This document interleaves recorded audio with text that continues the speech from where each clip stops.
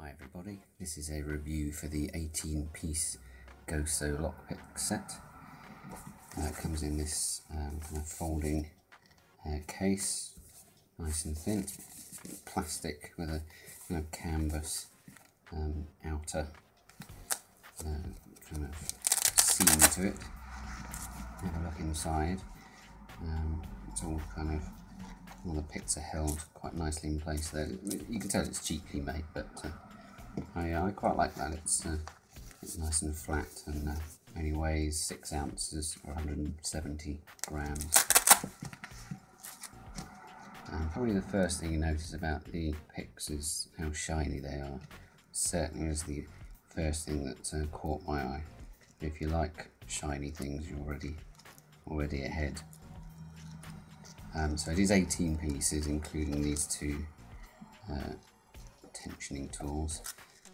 There's these one of these tweezer type things that I've never used, and one of these kind of um, Z types, like hammered um, piano wire type thing.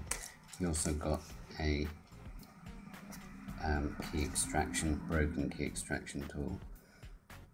Um, quite, it's a bit on the thick side, so you might need to uh, thin that down, but it is, it's pretty sharp.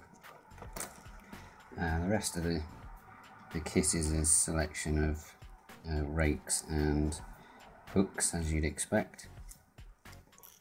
I'm going to take out the ones that I would likely use, so W rake, a slightly smaller W rake, two and three peaks. There's a long rake. Um, possibly this one. I don't know what this is called. This one. It's a kind of um, variant on the long rake. Um, I've not tried using one of those before, so let's see how we get on. Um, standard hook and a similar uh, standard hook. We've got a um, kind of half diamond. It's a little bit thick again up there. Seems to be a, a trait in particular manufacturing process with these. I've actually got two of those, ones uh, slightly bigger than the other. Um, left in here you've got just a variety of kind of occasional use um, tools. These kind of square ones um, I've never found a use for these, or nor have I seen them actually used by other people. So um, I guess you could file them down to other uh, sort of more rounded hooks. Now the uh, the finish is pretty, yeah, it's pretty pretty raw, I would say. Um, feeling the, the sharp edges there would uh, definitely benefit from some work. The, uh, the handles are, you've got three uh, bits of metal sort of sandwiched together and just kind of drilled through and um, I guess that's a kind of rivet holding it together. Um, in terms of thickness, let's uh, do some comparisons. The uh, calipers here. I do this in uh, in imperial measurements because that's what we're familiar with. So you can see that uh, sort of 20, 24, 25 thousandths of an inch. Um, for comparison, this is a uh, Southord slimline, and that is. Uh, 22. It's a bit thinner uh, than the, the Goso Pickology, um, which is, sorry about the light, that's 25 also, so it's the same, roughly the same thickness as uh, the Pickology. A, uh, one of these quid picks, it's a Goso in this occasion. Try and get it at the same point. That's 27 It's a bit thicker. And my trusty Klom is uh, is the fat boy of the, the bunch up to 32,000. So um, it's towards the, the slim end uh, of the set there.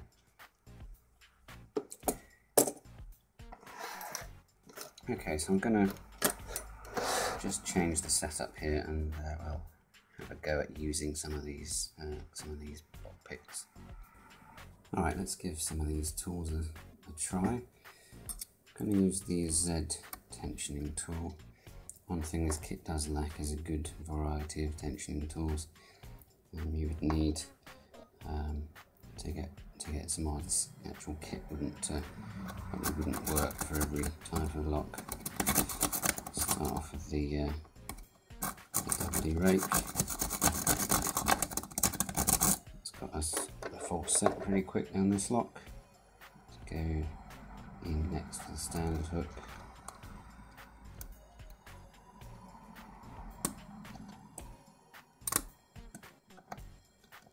Handle feels quite small, um, but the pins perfectly, perfectly well.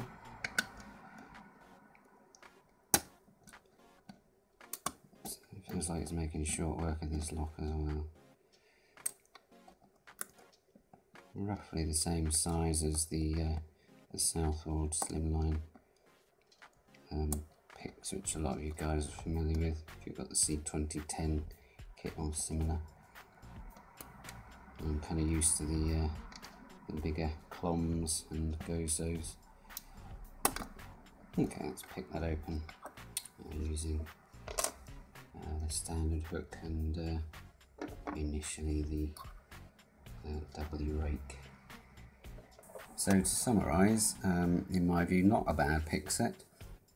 Not quite sure who it's aimed at. Um, I think um, for a beginner, um, they they're a bit too thin and uh, would just end up getting snapped quite quickly. Um, so it's probably more for an intermediate person who who likes shiny things and uh, likes hand finishing their own tools. Um, there's a lot of useful uh, tools in here, and uh, I think uh, for me the, the actual case is uh, it's just such a nice compact thing that you could just put in your pocket. This particular set cost me £14.99.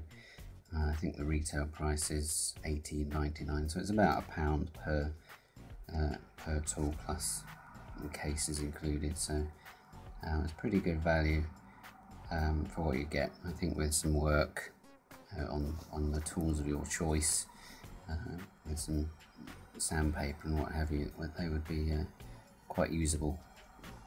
If you'd like to win this set, I'm going to run a, a small competition on UKLS if you're on there. And uh, thank you for watching the review.